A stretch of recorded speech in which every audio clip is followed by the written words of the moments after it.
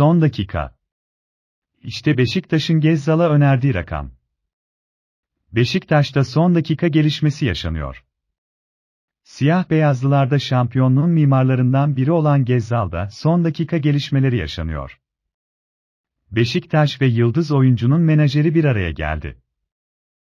Ahmet Nur Çebi'den DH'ye açıklama geldi. Te yandan Gezzal'ın menajeri de transfer zirvesi hakkında konuştu. Anlık gelişmeler için lütfen abone olun. Express Haber sundu.